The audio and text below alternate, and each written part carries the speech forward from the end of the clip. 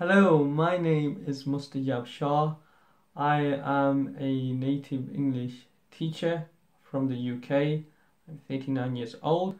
I have a CELTA to teach English and I've been teaching English for many years and the last two years I spent teaching English in Saudi Arabia.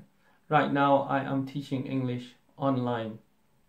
Uh, I have also been a language learner so I understand the language learning journey. The number one thing I can help you with is speaking. I can give you tasks that are natural, which will help you to speak English confidently and easily. And I will also help you to improve your vocabulary and grammar for speaking and pronunciation. So, if this is what will help you please contact me so I can start helping you and you can improve your English. Thank you very much. Have a good day. Bye.